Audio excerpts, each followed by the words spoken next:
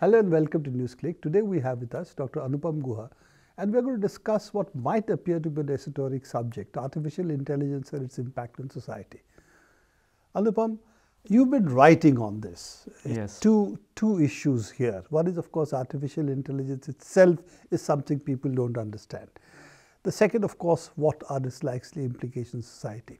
So let's start with the second issue first because I think that's Indeed. causing lot lot more concern.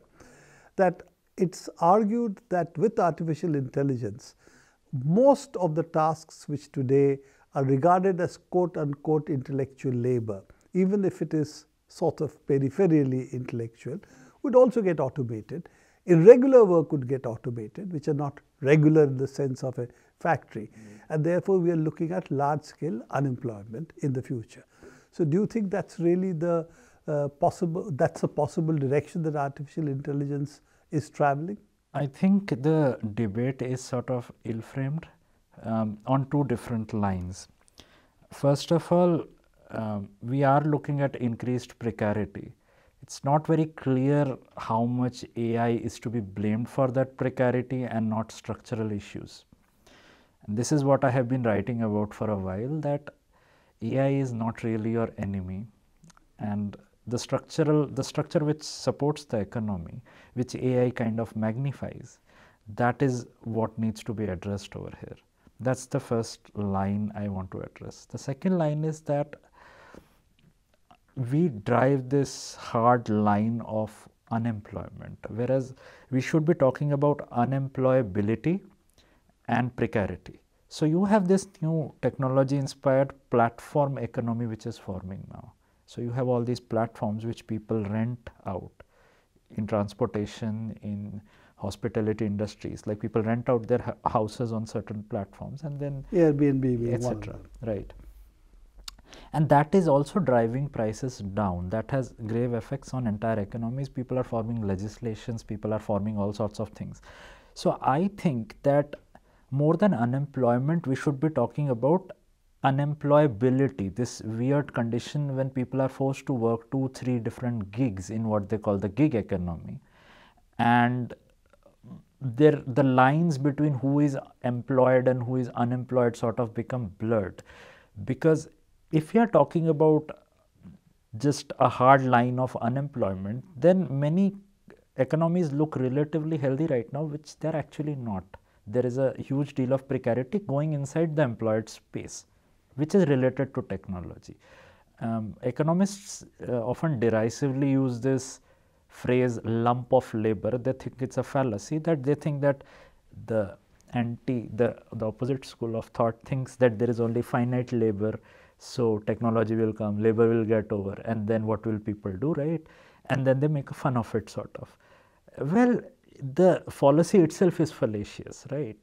Even if labor is infinite, the rate of doing labor, of course, depends on technology and the social structures which own that technology. You know, Anupam, let me interrupt you for a minute on that. What you're really talking about, what is employment? In, in, fact, that's the, that's the issue. The question is mm. ill-paid jobs which you keep on losing and gaining continuously. Mm. Are you unemployed or not? That's the definition of employability, em, em, being employed precariat labor, which is the condition, in which case anyway we have been having precariat labor in our cities for a very long time. But leaving that out, if I look at it in terms of framing it in this particular way, the amount of labor you need to produce, say, food for yourself and the basic needs of life and say a certain amount of what would be considered consumer goods or uh, even consumption of, shall we say, leisure. All of that can be produced with the kind of technology we have and what we are likely to see in the future is going to be much lower in terms of number of people than what we would require in the what we have required in the past. This is one part of it. Now, if we want to resolve this contradiction in, the, in what you're raising, is there are two ways of looking at it. What is employment? Let's have a look at that unpack it in that way. Why would people have to work 40 hours a week? Why can't two hours a week, four hours a week, if we have that amount of technology, why should it not go down to drive down our hours? One way of looking at it. Is if there is enough to be produced, then do I need to fear it? Or do I need to fear it only because that I'm quote unquote, I'm also surplus and I don't have any role in society. So, is that what you're really posing? So, if you have been following my writings and my talks, I am in favor of increased productivity and I am a technological optimist. My concern is that the question of how much, how many hours you would work, would you even work at all or be given some kind of universal basic income, which I think is a naive solution or if it would it lead to reduced work or public leisure as people are calling it. I think that's a structural question because who gets to decide the quantum of universal income or surplus value being, um, being allocated to you or how many hours you are working. Those are political questions. And unfortunately, this whole debate is being treated as a technological debate. Even UBI is being pushed by technologists who don't really have a solid political framework to argue this on. In the past, work hours were not a product of technological level, they were hard fought political battles. Absolutely. So, 40 hour, 40 hour week came out of huge struggles which indeed. had to be waged. So, if AI does increase productivity and assures a, a certain amount which can be used to to achieve a higher degree of sustenance especially that is important for the case of third world countries like india the global south needs ai let us not turn our faces from that. Uh, uh, technophobic reaction to this thing would be most unwise. But who gets how much is right now decided by a very small section of the stakeholders. Or in fact the multi-stakeholder model is itself politically loaded and fallacious i would say because yeah i think multi-stakeholder uh, multi-stakeholder model discussions are really to hide the fact that a few people have concentrated wealth in the world Indeed. today they control the governments and they true. also control the NGOs. Indeed. So at the end of it, out of four stakeholders, if you will, three are all sitting on one side of the table. So it, this, this really is not a, a, a multi-stakeholder model is really not the issue. Issue that I would say that you're raising is that ultimately these questions are to be answered politically. And fundamental issue then, I would say that you would, what you would be posing is that we have to look at what kind of society we want. And that's not an economic or a technical it's a uh, answer, question. it's a political question. Yes. And therefore, the debate of artificial intelligence versus employment really begs the question what is the future we want? And as human beings, what kind of society we want? Would that be the way you should look at and it? And what kind of society we want is not a although it's often pretended to be, it's not a natural or an organic thing, you know basic concepts of current society, concepts like property, are legal constructs, they are not natural constructs. So, who owns the AI or what sort of property is AI generated production leads to or or even older concepts like intellectual property etc. I think it's attempted to demonstrate that these things come from some kind of natural law, whereas they don't. They are social constructs. Value is socially produced. Even in the case of AI, it's not doing some kind of magic. It's not creating stuff from nothing. The data that goes into feeding machine learning eh, algorithms, the, the big data as it is called, that's socially generated data. In fact, network of people produce the data. Or, or, or all humans. It's a script from human sources. You know, Facebook or social media in general is used to scrape a lot of data that is used to form opinions. Then you have these machines, they scrape expert data and then you create machines which do the work of experts. The data comes from human beings. The algorithms are also socially produced. They are produced by scientists, people like me we study in schooling systems and university systems which are social constructs which are funded by public money. A large section of it is not even privately owned. So, the science of AI, the technology of AI, the oil of AI, the data so to speak. So, both the method and the content and the aesthetic form are socially generated value. But then the value gets concentrated after all that generation and I think that is problematic because everything, the long chain of what goes into producing all that wealth, I think that is where we should concentrate our political line. Put it this way if I rephrase it, I will say it's socially produced but privately appropriated. Indeed. That's the crux of it. Leaving out the social, uh, political, and economic issues, which of course is the bedrock of any, any discussion on the future. Technology is only a part of the debate. Let's also look at the tool itself, AI.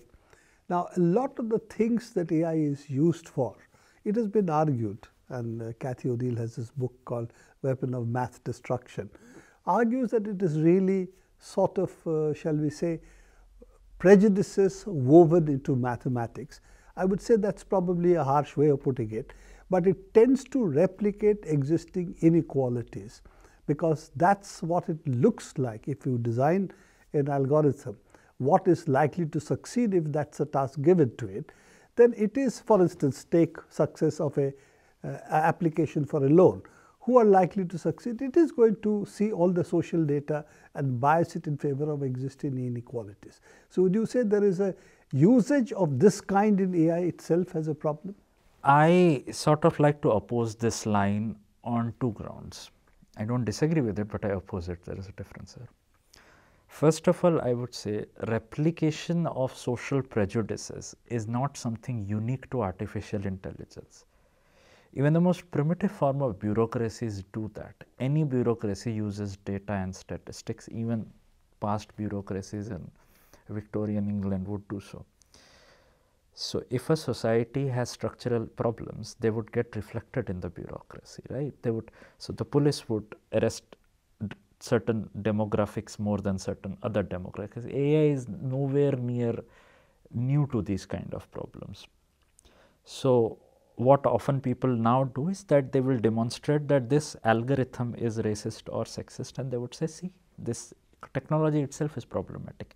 I disagree. I would say the technology is reflecting society yes correct agreed, but you cannot use that to say that this technology is itself problematic. It's the society is problematic. Removing the technology will not improve anything. The technology is an accelerant. It will accelerate whatever you want it to accelerate, the first line. The second line, and this I think is my line on this, is that not only is the technology not technology in general the sole solution or culprit of structural problems, I would say you cannot solve those structural problems without the acceleration provided by technology.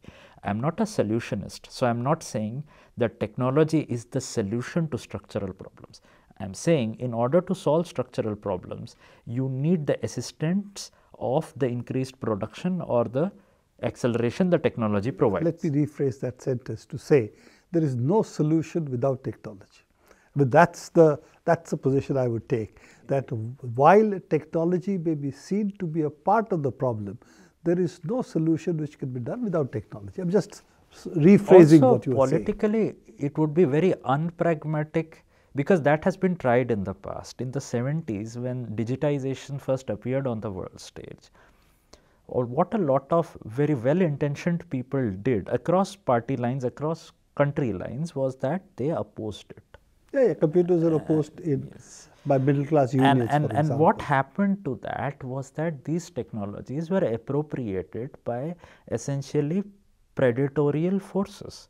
And because there was nothing to no vision of using these technologies in a better fashion aside from some very close circles like uh, free software and others which came a little which later. came a little late in fact at that time the only example of using it in a more emancipatory sense was Chile's Allende. Indeed. Where there was an attempt to create. Of course, that didn't last because of military violence. Military.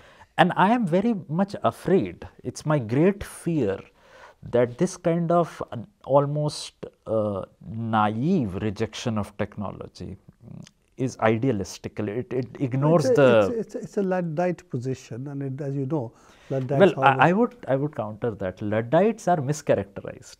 The Luddites were not actually. No, that's what I'm embracing this position. It's more of a caricature of the Luddite I'm, movement. I'm basically saying Luddites did break machines because they saw that rightly so as taking away their livelihood and their lives. Indeed. So it would be very surprising if they did not. Indeed. The question is not that. The question is not caricature and dismissing it and so on. Also recognize the Indeed, pro- indeed. problems there were. right. That the, in fact, that the turn against the machine, there was a particular reason for Indeed. it. Thanks, Anupam, for being with us. It's been a pleasure talking to you. It was excellent talking to you. particularly on issues that are also close to my heart, which people in NewsClick may not realize, or people watching NewsClick may not realize. Thank you so much for watching NewsClick. Do keep watching us. Visit our YouTube channel and our Facebook page.